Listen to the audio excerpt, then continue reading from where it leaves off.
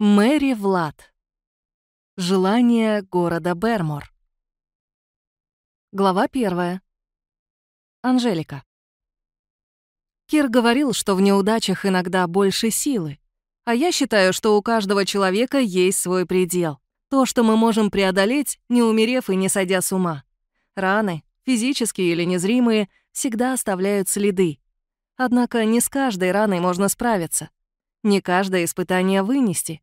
Человеку по силам многое, но не все. В одном Марк был прав. Люди — достаточно хрупкие создания, которые часто ломаются. Но этот мир — не ошибка. Он такой, какой есть. И люди тоже не ошибка природы. Мы здесь, на этой планете. Значит, в нашем существовании есть смысл. Пусть никто его пока не нашел, но раз мы рождаемся, значит, у нас есть полное право жить и строить свое счастье. Чувство — не слабость. Я наконец-то поняла это. Если не игнорировать разум, то в любой ситуации их можно превратить в силу и использовать себе на пользу, не потеряв над ними контроль. В этом мире все относительно, и любовь — это не только про радость. Любовь может причинять жуткую боль. Любовь может разрушать. Но также она может стать источником силы. Когда мы любим, мы так уязвимы. Парадокс в том, что одновременно мы становимся сильнее. Ради любимых мы можем горы свернуть, хотим для них самого лучшего и готовы оберегать от любой опасности. Но защищать это сложно, а иногда и вовсе невозможно. Порой можно лишиться намного, намного больше того, что хотелось защитить. Я не смогла защитить Лейлу и потеряла всю семью. Урок был болезненным, но я сделала выводы. Это не значит, что впредь я не буду допускать ошибок. Буду, как и любой человек. Люди не идеальны, никто из нас не святой. Мы не обладаем супергеройскими способностями, и мы не всегда поступаем правильно в глазах окружающих, ведь сколько людей, столько и мнений. Что хорошо для одного, может являться абсолютным злом для другого. Человек всегда выбирает для себя наилучший вариант из возможных.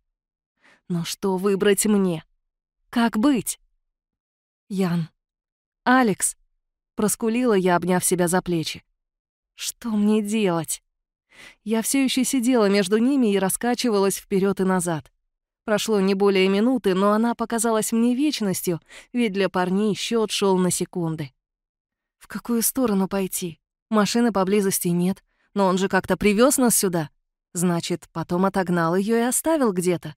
Возможно, около дороги. Но все следы замело. Мы в грёбаном поле. Я не знаю, в какую сторону идти. Чёрт, я такая бесполезная. Просто сижу и смотрю, как вы умираете». Я судорожно втянула воздух, пытаясь успокоиться и взять себя в руки. Обвиняя себя, ничего не изменишь. Так говорила Кир и Алекс, и многие, кого я знала. Какой же глупой я была.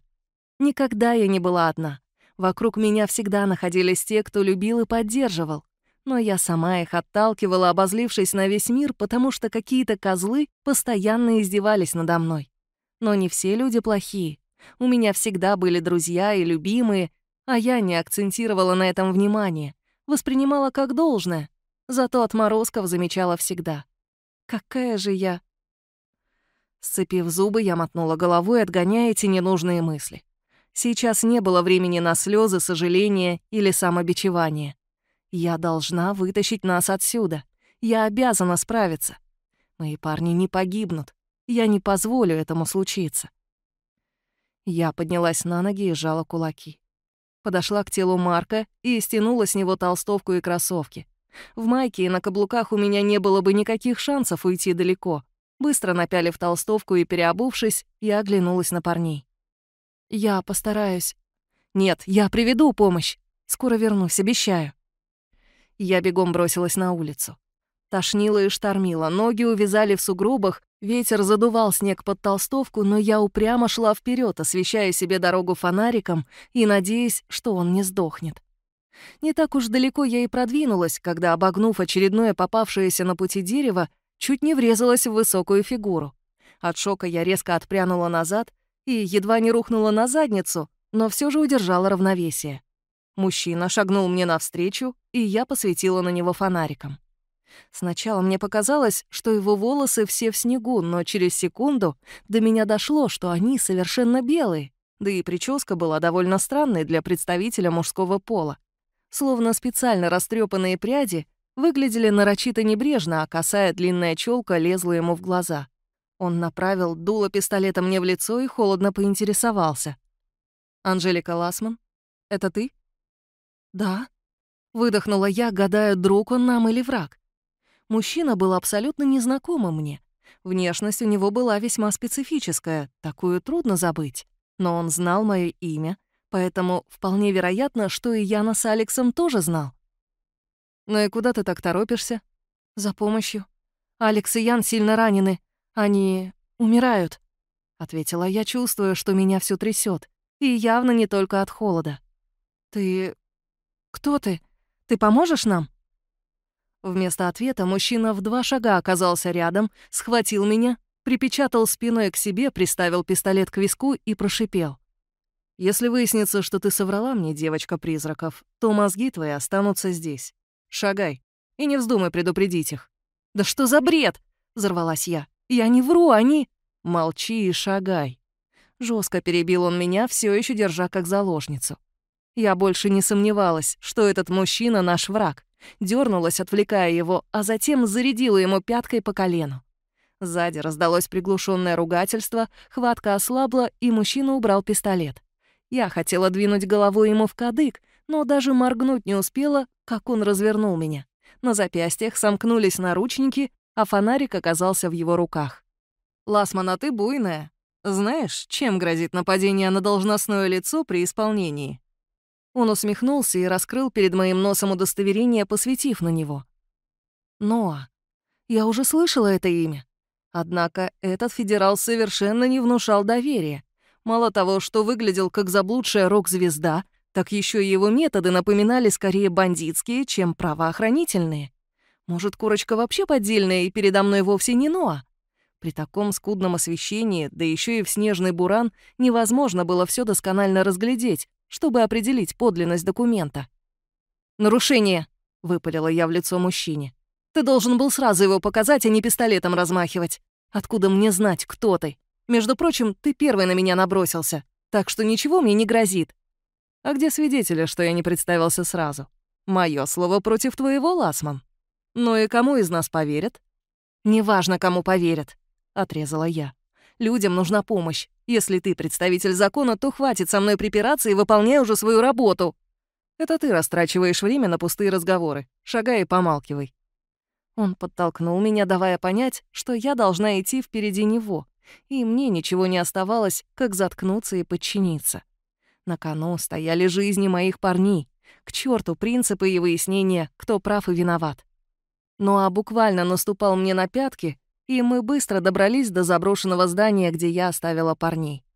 Когда мы вошли во внутреннее помещение, Нуа довольно грубо оттолкнул меня в сторону и молниеносно оказался рядом с Яном и Алексом. «Дерьмо», — выругался он, стоя в метре от них. Открепил от пояса рацию, нажал на кнопку и процедил. «Они здесь. Предположительно, один труп и двое раненых. Нужны носилки. Мне насрать, что там не проехать. Пошевеливайтесь». Я приближалась, наблюдая за ним словно сквозь пелену тумана. Мне было все равно, как именно Ноа нашел нас. Все равно, что он надел на меня наручники. Главное, что Алексу и Яну окажут помощь. Остановившись в паре метров от Ноа, я просто ждала, что будет дальше. Он опустился на корточки, проверил их пульс, затем встал и медленно повернулся ко мне. «Тебе придется поднапрячься, чтобы все объяснить, Ласман. Не вздумай врать или что-то утаивать. Мы знаем, что ты собиралась бежать. Или вы планировали сделать это в пятером? Убитый помогал вам, но что-то пошло не по плану? Так все было?» «Нет, Марк напал на нас, усыпил и привез сюда, чтобы расправиться с нами. Он и с моей подругой Кристиной что-то сделал. Я не знаю, где она.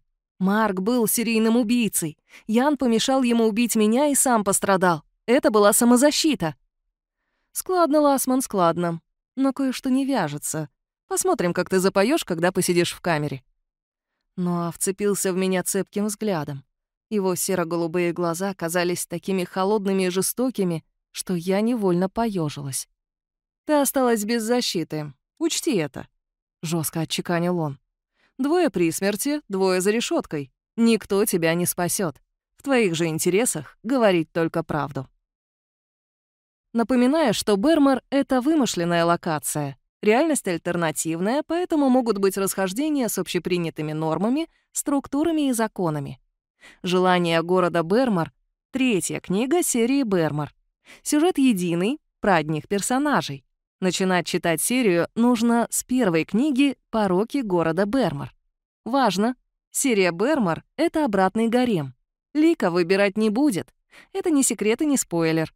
Бермор изначально задумывался как гаремная сказка, никаких стандартных парочек и ван лав.